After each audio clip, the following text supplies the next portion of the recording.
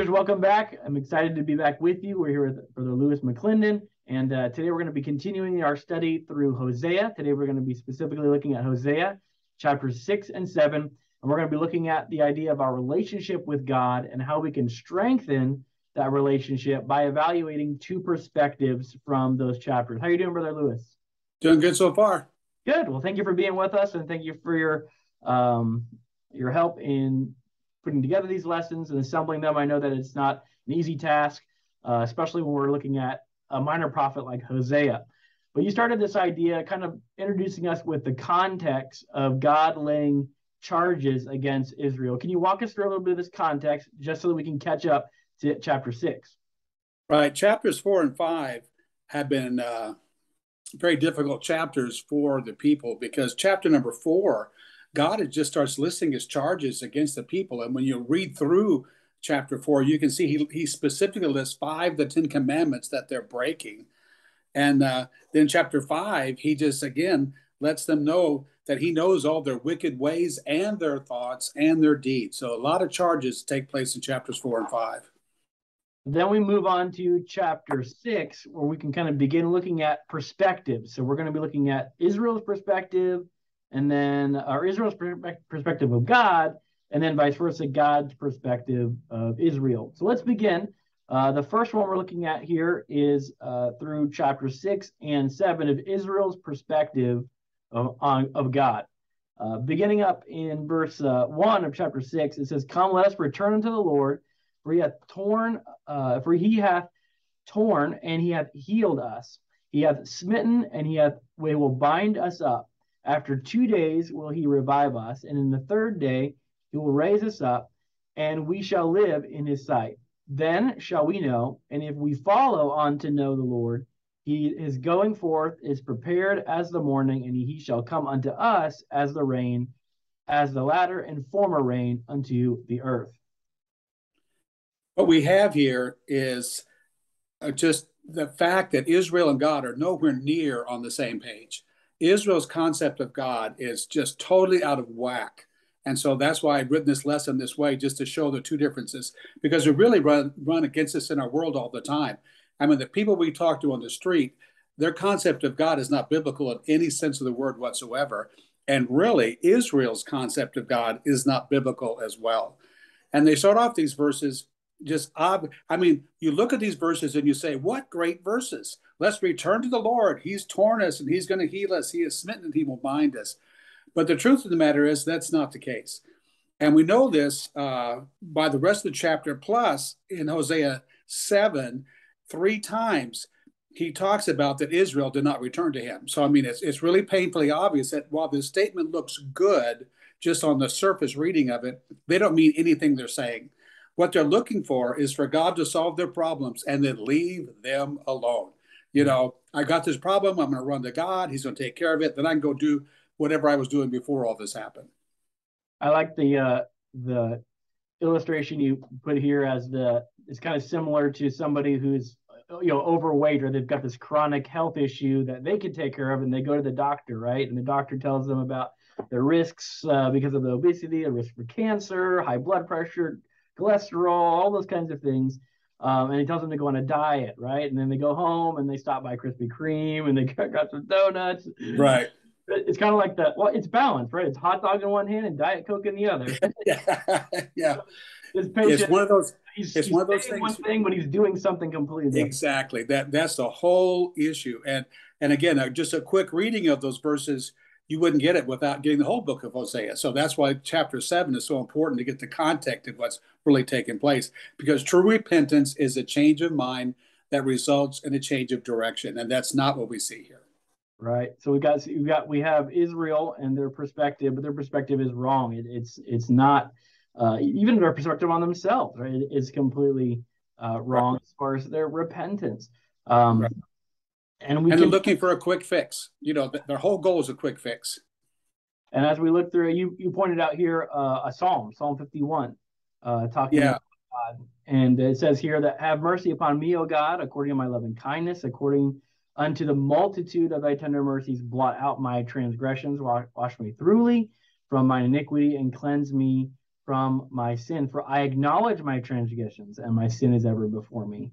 Uh, here, uh, it, continuing through, he talks about purging him with hyssop, and, and talking about him being, even being shapen in iniquity. So uh, that's you know David, right? And he's uh, he's he's he's telling us, you know, he's, he's coming clean. he's right. got the right perspective.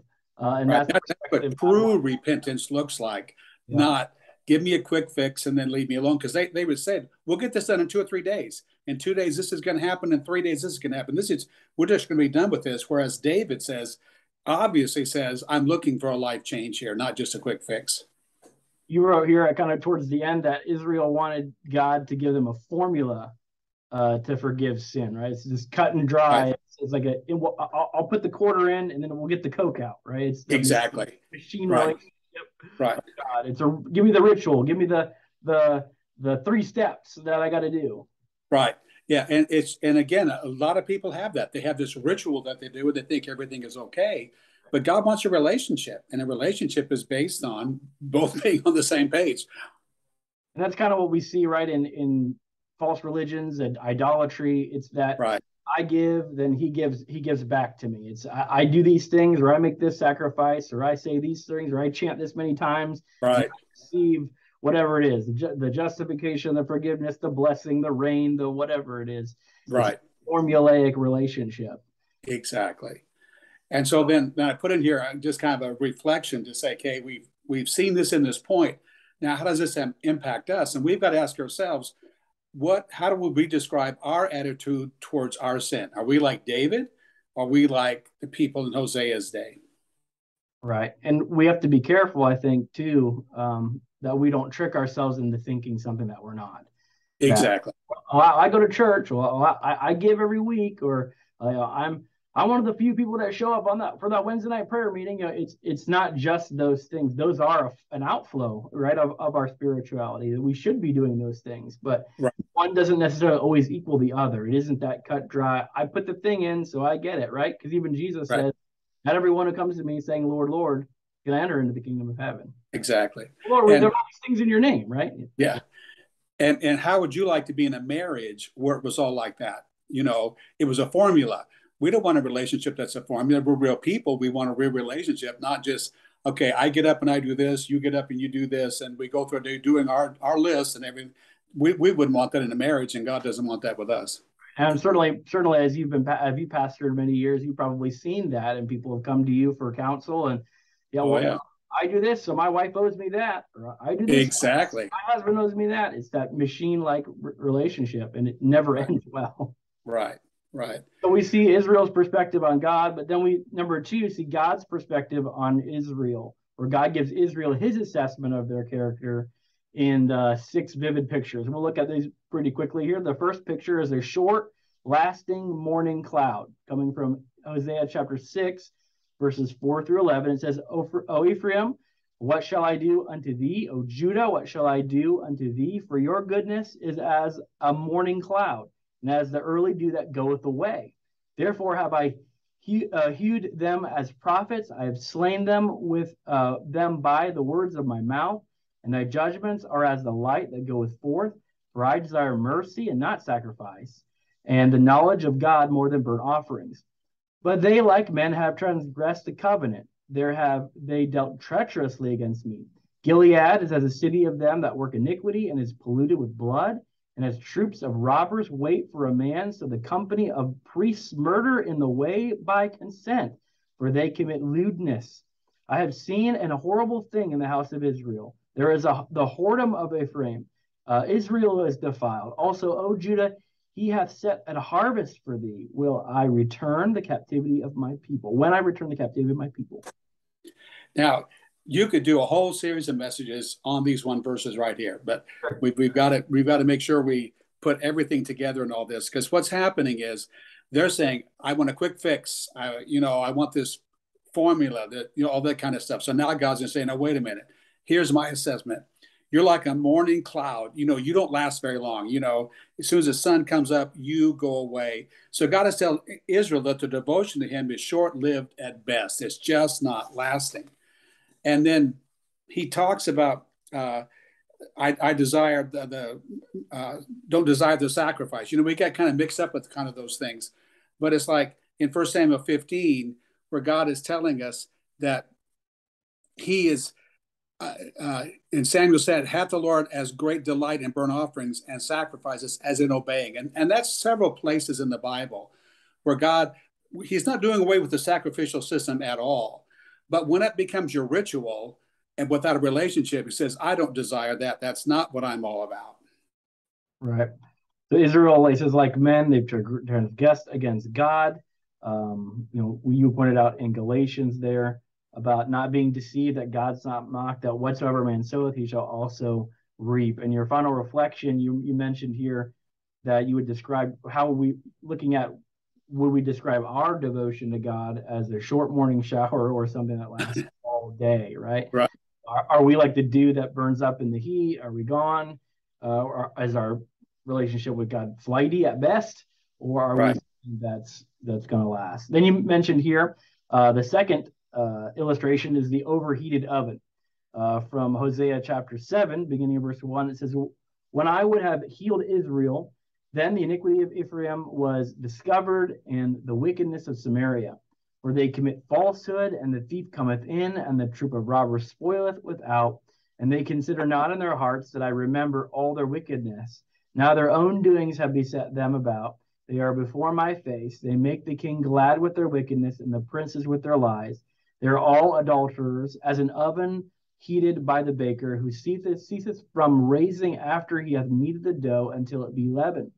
In the day of our king, the princes have made him sick with bottles of wine. He stretched out his hand with scorners, for they have made ready their heart like an oven. While they lay in wait, their baker sleepeth all the night, and in the morning it burneth as a fire, flaming fire. They are all hot as an oven, and have devoured their judges. All their kings are fallen. There is none among them that calleth unto me. So these verses, God specifically tells Israel what's prevented him from helping them. Because you see, God is calling, you know, calling their bluff or whatever, however you want to say it. But God, Israel wanted God to act on their terms instead of acting on God's terms. And God wrote it all down in Deuteronomy 28. And God's now saying, wait a minute, you can't sin and get away with it. I know all about your sin and remember your sin. You remember it's God's goal to forget their sin and confess sin is forgiven, but they're not confessing their sin. So God's now having to call them to task so he says, their desire for sin is like an oven overheated by a baker, which means it's, it's, it's burning hot all night long. A baker just kind of banks the fire at night, cools down, is ready to go in the morning. But they got that just going all night long. And he's saying that's what your sin is. Your sin is like an oven that just always is on fire, is always hot. And there's nothing that can good come out of it. I don't know if you've ever had that experience, if you've baked much or anything like that. But if you get, you know, you get that te- that temperature too hot, it cooks too fast, it's nasty in the middle, it's burnt on the top. Right. Yeah. I've, I've always always uh, inter- uh, loved the illustration of you know you you can burn a cake and then you can you can try to you know cover it with icing and make it look nice, but once you cut into that and you taste it, you can't get that burnt taste out, right? exactly. no. no matter how much you try to try to fake it, how much you try to cover up. Same thing with our sin, right? You can't cover it up. It's it's like a burnt cake. It's like a burnt cake. Yeah you can't get anything good out of an overheated oven. So you, you mentioned our reflection. Yeah, that an overheated oven describes a life focused on sin. And, you know, we've really seen people like that, that whatever, if they're working, they're just working to make money for their sin. You know, whatever it is, they're just focused on their sin. And we got to ask our question there's a sin in our life that's controlling us? And are we ready to properly deal with that sin and get victory over it? The next one kind of carries on this baker theme. It's the half right cake. Uh, coming from chapter 7, verse 8, it says, Ephraim he hath mixed himself among the people. Ephraim is a cake not turned. Yeah. So, yeah, he carries that theme through. It was common in those days to bake bread on hot rocks. And if it, the dough's not turned over, it's burned on one side and it's uncooked on the other side. And this is really addressing their political alliances instead of trusting in God. So some of their political alliances have burned them, and others have left them uncooked. You know, so all their alliances are not working out like they want to. So then we say, Are you a half baked Christian? Do you have some alliances with this world that are keeping you from a life completely given to God? And neither one of those is very good, right? The burnt side. No. the raw side is not good either. No. Um, We've got Ephraim, half baked cake. Then we've got the ignorant old man. Uh, continuing, verse 9 says that strangers have devoured his strength, and he knoweth it not. Yea, gray hairs are he- here and there upon him, yet he knoweth not. And the pride of Israel testify to his face, and they do not return to the Lord their God, nor seek him for all this. So this is kind of personal, old man, you know.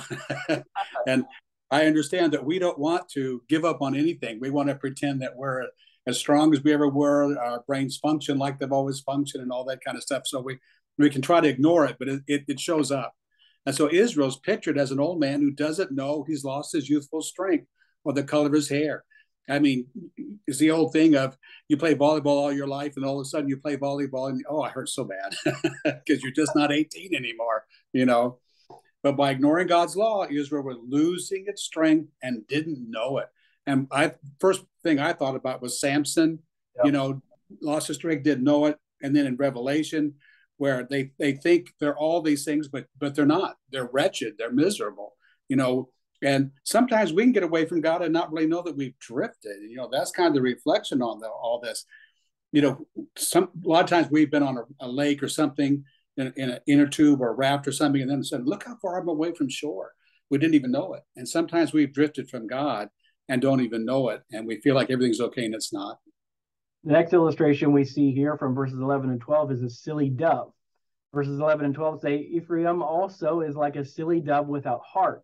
They call to Egypt, they go to Assyria. When they shall go, I will spread my net upon them. I will bring them down as the fowls of the heaven. I will chastise them as their congregation hath hurt. Yeah, they're they're just flittering back and forth like a silly dove. Israel turned to Egypt and to Syria, and both nations are going to prove to be false allies. Israel's leaders thought they were the wise ones, and we know what to do with this. But God's prophets had told them what to do, and they they just ignored it. Um, in Hosea chapter 10, uh, we, have, we're not, we haven't been, got there yet, but you mentioned here a couple verses is in verse right. five, chapters 10, verse 5 and 6. This is the inhabitants of Samaria shall fear because of the calves of Bethaven, for the people thereof shall mourn over it, and the priests thereof that rejoiced on it for the glory thereof, because it is departed from it. It shall also uh, it, it, shall be also carried unto Assyria for the present uh, to King Jareb Ephraim shall receive shame, and Israel shall be ashamed of his own counsel. Yeah, we're going to really get to this in a future lesson about the calves worship that they were involved in. But in in like a silly dove, Israel has flown to Egypt and to Assyria, and God told him he would catch him in his net and give them to Assyria. So God, not the kings, is the wise man here. So they think they know what they're doing, but God just lays on line. You're a silly dove. You're not wise at all. Finally, we look at here the worthless bow. Uh, from verses 13 through 16, scripture says, Woe unto them, for they have fled from me, destruction unto them, because they have transgressed against me. Though I have redeemed them, yet they have spoken lies against me. And they have not cried unto me with their heart when they howled upon their beds. They assemble themselves for corn and wine, and they rebel against me. Though I have bound and strengthened their arms, yet do they imagine mischief against me. They return, but not only, but not to the Most High. They are like a deceitful bow. Their princes shall fall by the sword for the rage of their tongue. This shall be their derision in the land of Egypt. Yeah, deceitful bow is a bow that looks good, but it's worthless. That's why it's a deceitful bow.